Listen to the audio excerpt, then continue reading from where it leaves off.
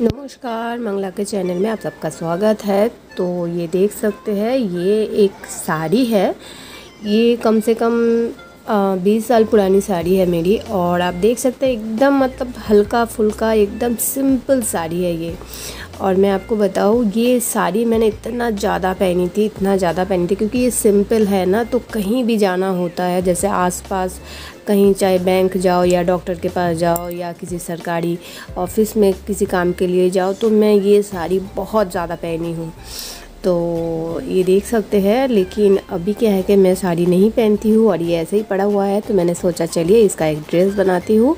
तो कैसा लगता है पता नहीं। ये बनने के बाद ही पता चलेगा। और यहाँ पे देखिए, इसके साथ ये लोअर पार्ट के लिए मैंने ये लाइनिंग लिया है और अपर पार्ट में जो है, मैं ये जो पल्ला है, इसको मैं रखने वाली हूँ। तो इसके साथ ये मैंने ग्रीन कलर का लिया है लाइनिंग के लिए। तो चलिए इसकी कटिंग करते हैं। तो लोअर पार्ट के लिए कितनी कलियाँ बनाऊँगी, वो मैं यहाँ पे हिसाब लगा रही हूँ। मैं बिल्कुल सिंपल से बनाऊँगी रेगुलर वेयर के लिए। ज़्यादा मैं एकदम घेर टाइप का नहीं बनाऊँगी, ताकि मैं हर रोज़ पहन सब कुछ ऐसे वाले बनाने वाली हूँ। तो उसके लिए मैंने हिसाब लगा के जितना मुझे चाहिए, मैं यहाँ पर मार्जिन करके उस हिसाब से जो है मैं पहले इसे लोअर पार्ट के लिए यहाँ पर कट कर लूँगी। तो यहाँ पे मैंने मार्जिन कर लिया है और इसी हिसाब से जो है मैं कट कर लूँगी। और ये जो साड़ी है, मैं आपको दिखाती हूँ। मैं इसलिए इसको ज़्यादा घेर वगैरह नहीं बनाना चाहती क्योंकि मैं चाहती हूँ रेगुलर मैं पहन के दुकान आ, आ सकूँ। ऐसे वाले ज़्यादा वैसे भी साड़ी भी सिंपल है और सिंपल ही बनाना चाहती हूँ मैं।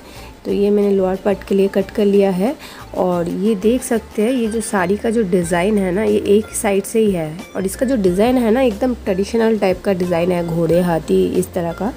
तो मैं चाहती हूँ ये डिज़ाइन सीधा रहे तो उस हिसाब से यहाँ पे देखिए मैंने कट किया है इस तरह से मैंने पल्ला निकाला है।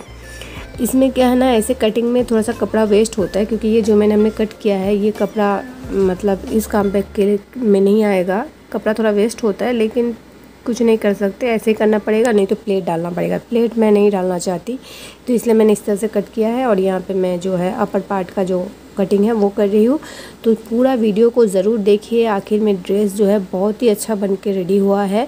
और हाँ मेरे वीडियो अगर आप लोगों को अच्छा लगता है तो चैनल ज़रूर से सब्सक्राइब कीजिएगा। वीडियो को लाइक कीजिएगा। कोई भी प्रश्न है कॉमेंट में ज़रूर बताइएगा। तो मैंने कटिंग कर लिया है ये देख सकते हैं। और मैंने लाइलिंग जो है इस तरह से पहले कट किया है। और इसमें लाइलिंग के साथ बिठाने के बाद जो है मेन फैब्रिक कट करूँगी। और यही तरीका होता है आ, सही से। तो चलिए अब इसका स्टिचिंग चालू करते हैं।